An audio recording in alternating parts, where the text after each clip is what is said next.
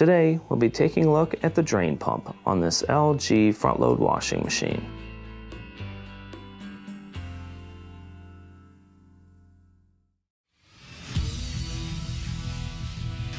Be sure to visit appliancevideo.com where you will find thousands of repair videos on the latest technology.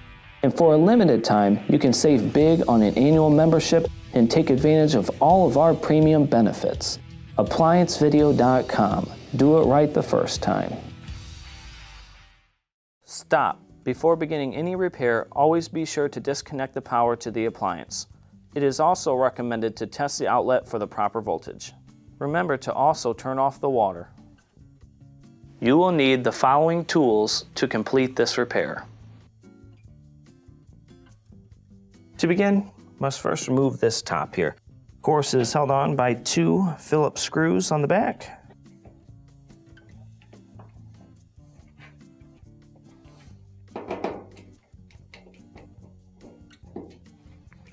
Next, be very careful. Let's slide this sharp metal off, lift it up, and set it to the side. Next, we will start by taking out the dispenser drawer, press in on the push button, and pull out. Next, you're going to need your screwdriver because we have a couple of Phillips screws that'll need to be taken out. So start with the two on the front.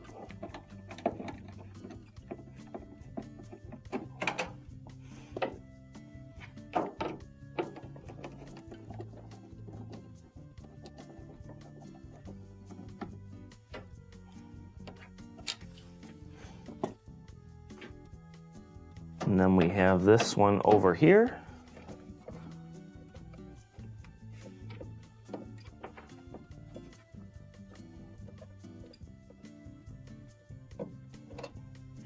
Let's take that off.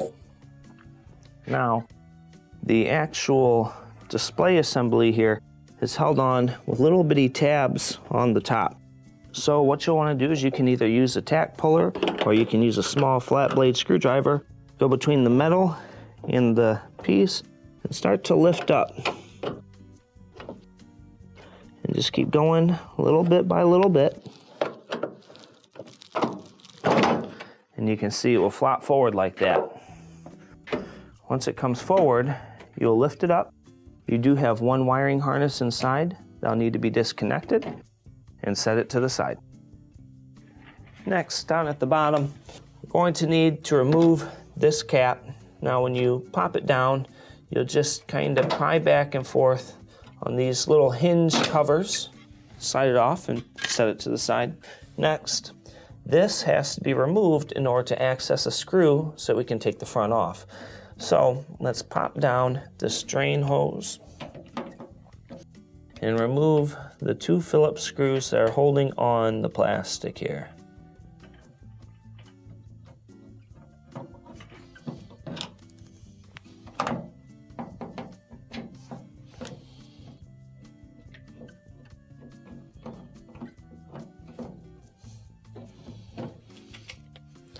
Then you start to lift up, slide it out, and set it to the side. Now we have access down here to remove this one. So put your Phillips screwdriver in at a slant. Let's get that guy out of here and set it to the side. Next, we'll move up to the door. Go ahead and open it up. And we're going to need to push the seal in and remove the door switch. In order to push the seal in, it is held on by one kind of clamp ring on the bottom.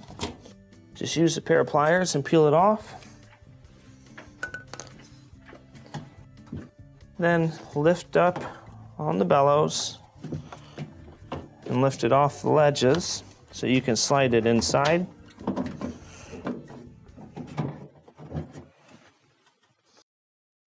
I'm going to put my hand inside and just hold the door lock while I remove the two screws.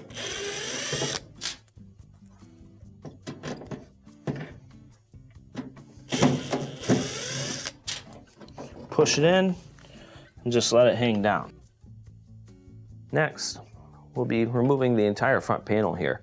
When we do this, we are going to remove these screws, they're all Phillips screws, and it's kind of held on with almost like a little like a little splinter here. So you'll push down on the metal and then pull out and make sure this door doesn't fly open and lift it up off the frame. So let's start with the screws.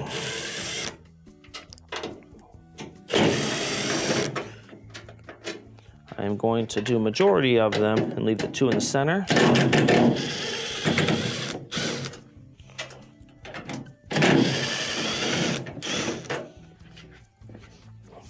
Now let's remove this one. So keep our leg on it and remove this one. You can see it pulls forward, it'll pop under this hook, lift up. You have to kind of pull forward. There is a strain reliever for the door lock in here. Make sure you pull that out and set it to the side. Lift up on the front, and you can set this to the side. Now that we have the front panel removed, we have clear access to our drain pump. Now the main reason why you'd be needing to access this component is if it is not draining. Of course, the first thing you would want to do in this situation is make sure you put some towels down and pull out this filter.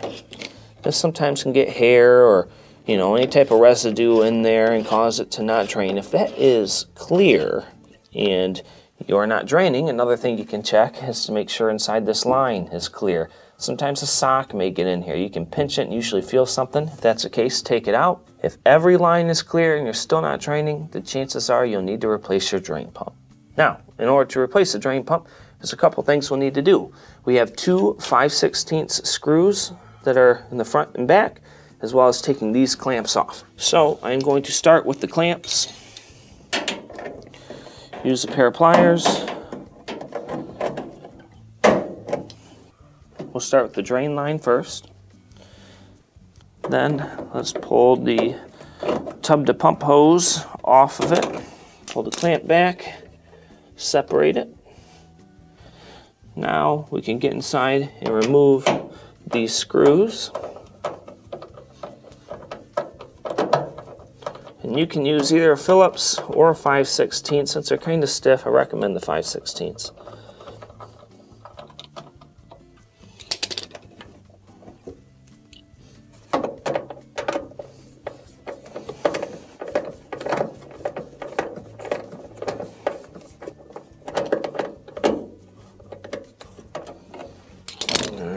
let's pull that out. Next, underneath in the back, there's a small locking clip you'll need to press down while pushing forward. Then we can start to lift it up. You will remove the wiring on here by pinching and pulling out. And then let's start to kind of trail it around. And the last thing we have is this one strain reliever here. You will have to lift it up, slide out the wiring. We will slide out the bottom hose and set your pump to the side. When installing your new drain pump, just push these lines out of the way. Obviously, the first thing we're going to want to do is reinstall your harness on the actual pump itself. So let's slide your wiring under the strain reliever here. It's a little stiff. We'll use something to lift it up slide that under. And then let's work our way to the back.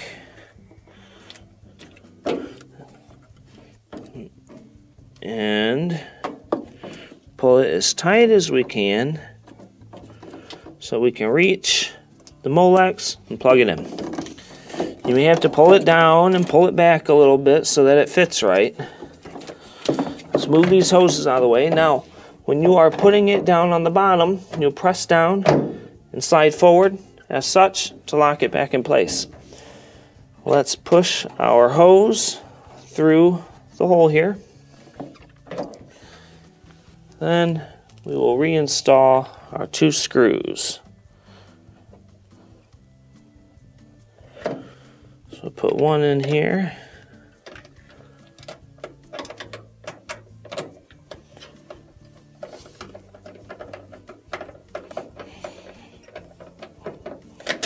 Go ahead and get this floppy monster out of the way. Let's put the second one back here.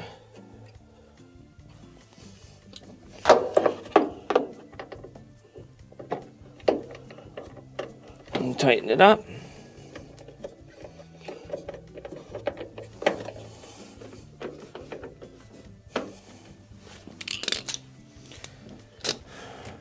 This hose right here has a split that will match up with this piece on the pump. So slide it in. Now let's reinstall the hoses and the clamps. Let's reinstall the clamps here.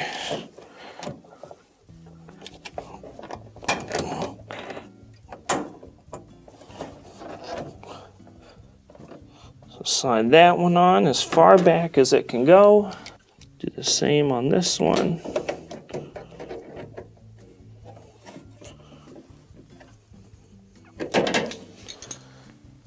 Now we can reinstall the front panel. When reinstalling your front, the bottom here you can see has little hooks that correspond to slotted area on the front. Then of course we have our strain reliever for our door lock. So Let's get the door lock out first. Just kind of lift it up. And then let's pop the front of the unit on the hooks. We are going to put the door lock back inside the strain reliever. This just keeps it from dropping down. And gently pull the unit forward and kind of put it back under that splinter there. Make sure you hold on to it. We'll just get one of our screws here, reattach it, and that should hold it on.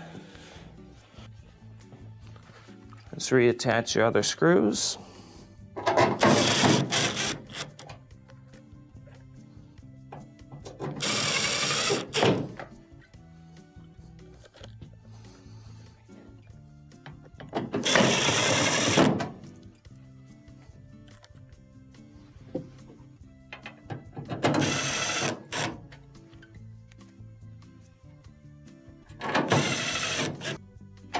Now we can reinstall the gasket, door lock, and spring.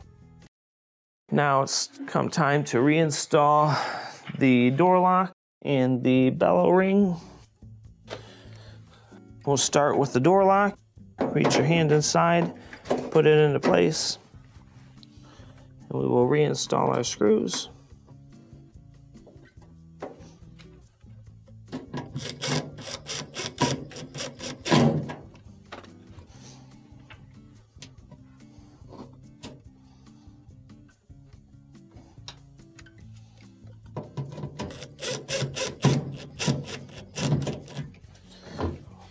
We have that on there, we'll need to pull the bellow ring out and slide it over the lip here. So just kind of peel back and run your finger across it.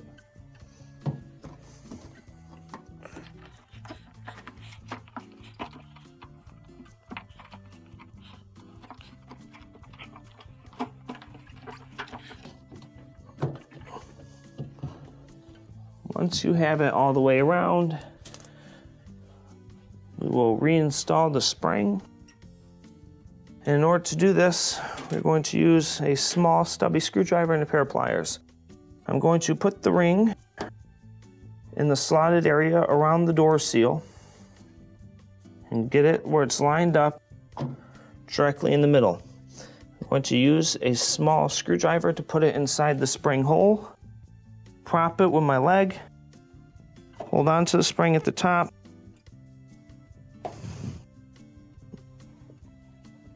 start to stretch it over. all the way around. Make sure the door closes. Now we can reinstall the screws on the bottom.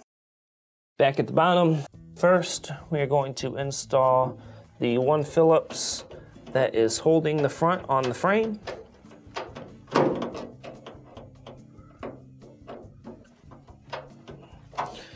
Once we have that in there,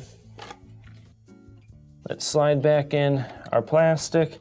First, put the hose through the bottom, put it back in place and snap it in.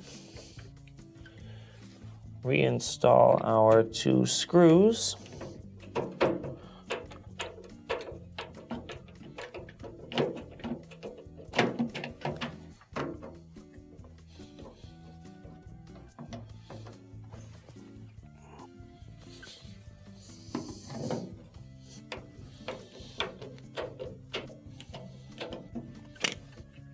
Then slide your water line back in the holder here. And let's reinstall the front by sliding in the hinges, clip it up. Now we can reinstall the panel. When reinstalling your panel, first we're going to bring it in at an angle and of course hook up the Molex that we took out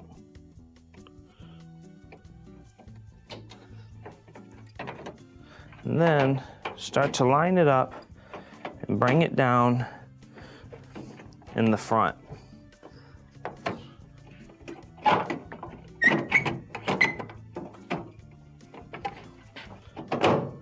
And then you'll push down on the front and the top, lock it into place. It will fit across the front and you will not see a huge gap. All the locking tabs are in. Let's reinstall our screws.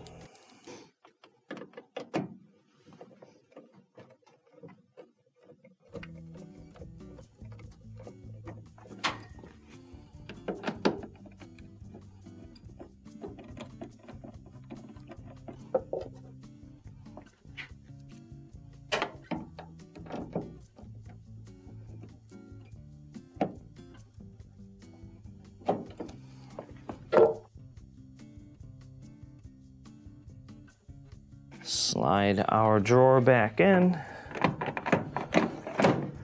Now we can reinstall the top. When reinstalling your top panel, be very careful. We don't want to slice and dice. Let's go ahead and sit it down. You'll want about an inch away from the front. That's where it actually drops down. And then you can slide it forward and it should match up with the front. Let's reinstall the two screws on the back.